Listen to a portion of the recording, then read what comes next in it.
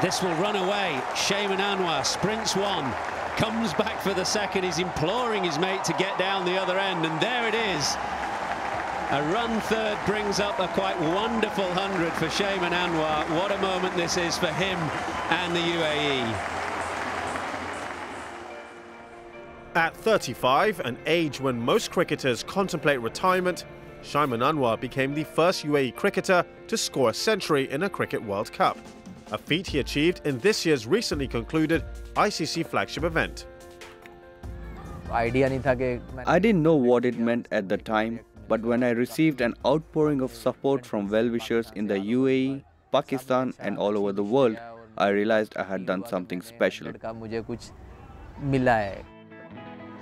At the end of the first four games for the UAE, Anwar scored 278 runs at an average of 67.5 which was higher than the likes of Chris Gayle, AB de Villiers and Hashim Amla. The right-handed batsman would go on to amass 311 runs at an average of close to 52, the only associate batsman to feature in the top 20 run scorers of the ICC Cricket World Cup 2015. A stocky, diminutive cricketer, Anwar was born and raised in the Pakistani city of Sialkot, for whom he made his first-class debut in 2002. A year after securing employment with a UAE shipping company in 2007, Anwar gained a reputation as a six-hitter in the country's domestic cricket circles, earning him the nickname Sixer Shaiman and more recently Sir Viv. So what precipitated this change in perception of a batsman who once modelled his technique on Rahul Dravid as a teenager? I think uh, four or five years before, about 4 to 5 years ago, when I was playing for my former company, Consolidated Shipping Services, during a T20 tournament in Sharjah, I hit 7 sixes in an over and became quite famous because of it. Ever since that match, whenever I made runs, newspapers would always make a reference to those 7 sixes that I hit. It's a pretty big achievement, not many are capable of doing it. If you are thinking how I managed 7, it was because of a no ball. Even one no ball is there, so that's why 7 6 in 1 over. Apart from that whirlwind 106 off 83 balls against the Irish, only his nation's second hundred in their ODI history, Anwar also impressed with memorable performances against full member nations.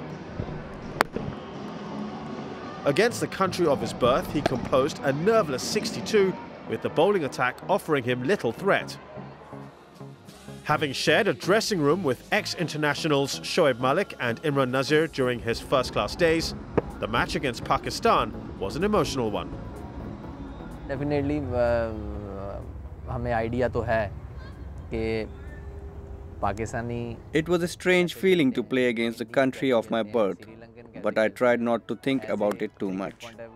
My major focus now is to constantly find ways of improving and becoming a better batsman. Whether it's the Pakistanis, Indians or Sri Lankans. I just try and learn from them by noticing how they adapt their technique to suit foreign conditions. Then I work hard to make these changes by experimenting in the nets. I still have a long way to go and a lot to learn.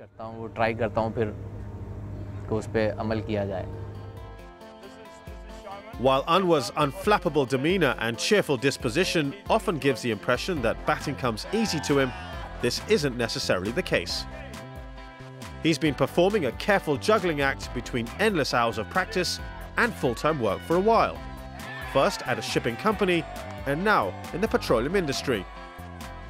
But it's a difficult task made easier by his understanding employers. Company हमें काफ़ी flexible है हमारे साथ my company adopts a very flexible approach when it comes to cricket. We have a mutual understanding, so when I get called up for national duty, they let me go. This puts me at ease. My company and the UAE Cricket Board also share a good relationship and are cooperative when the need arises.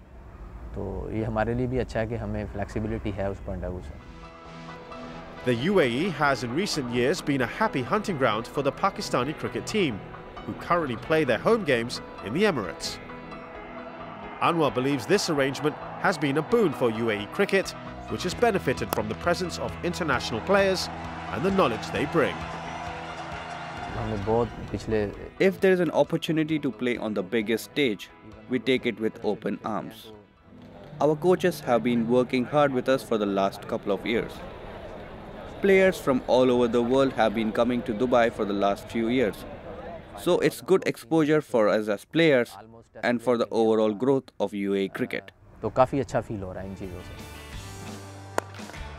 In a matter of months, Shaiman Anwar has gone from obscurity to stardom. At 36, and with just 13 one-day internationals under his belt, Anwar is indeed a late bloomer. But his recent exploits at the ICC Cricket World Cup 2015 have proved that age is no barrier. Let's hope the swing of his blade will continue to inspire UAE's younger generation for many years to come.